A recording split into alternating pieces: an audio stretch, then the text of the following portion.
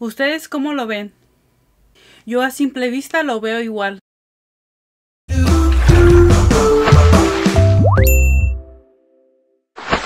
Hola, hola, ¿qué tal Stylers? Ahora les traigo una comparación de color con el acondicionador de Keracolor en color cobre y con la mascarilla que hice con violeta de genciana. En esta comparación de color voy a pintar la mitad de mi cabello con el acondicionador de Keracolor y la otra mitad la voy a pintar con la mascarilla que hice con violeta de genciana. Y bueno ahora sí sin tanto rollo vamos a ver la comparación de colores a ver si nos queda exactamente el mismo tono o si nos queda más claro o si nos queda un color chillante tirando a fantasía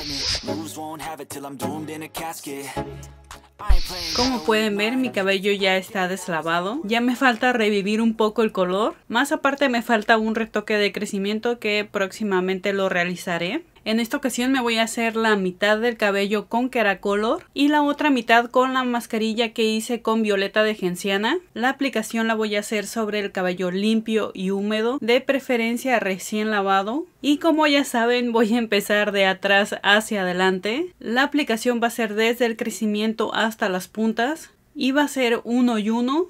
El lado izquierdo con Keracolor y el lado derecho con la mascarilla que contiene violeta de genciana y así me voy a ir lado izquierdo, lado derecho, izquierdo, derecho, izquierdo, derecho. Esto es para terminar al mismo tiempo con los dos productos y para que ninguno de los dos haga diferente tiempo de pose. Los dos productos se deslizan bastante bien sobre el cabello. El cabello se desenreda conforme a la aplicación de la mascarilla. Lo que sí estoy notando es que el lado de Keracolor necesita más producto a comparación de la mascarilla con violeta de genciana. Aparte de eso, el lado de la mascarilla con violeta de genciana hace que cambie el color del cabello más rápido que el de Keracolor. El lado de Keracolor tarda un poquito más en hacer la reacción. Y el lado de Keracolor no sé si alcancen a ver, pero en la parte superficial del cabello queda como una capita blanca, una capa medio color crema. Y el lado de la mascarilla el cabello se ve con el color tal cual. No deja ninguna capita blanca ni nada de eso sobre el cabello.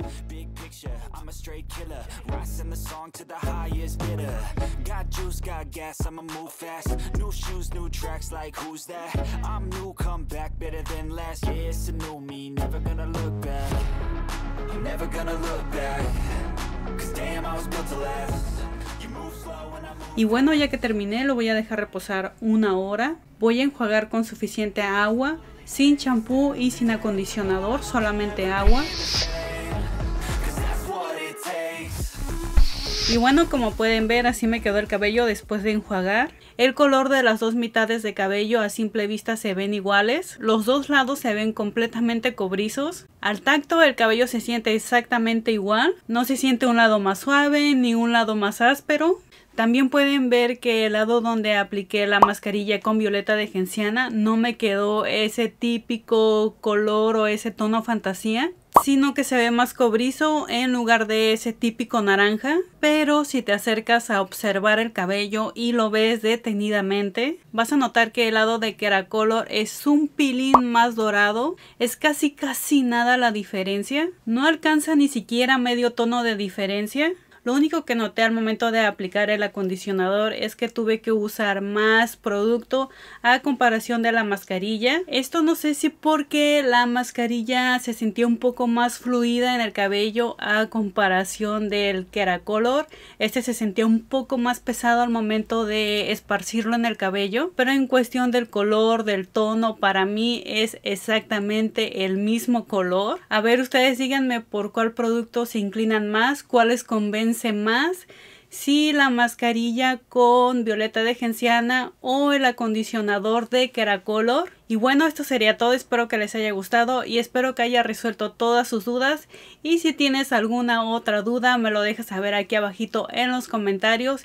Y de pasadita, no te vayas a ir sin antes de reventar el botón de me gusta, compartir este video y seguirme en todas mis redes sociales, ya que me encuentras como Liz Style. Y nos vemos en el siguiente video.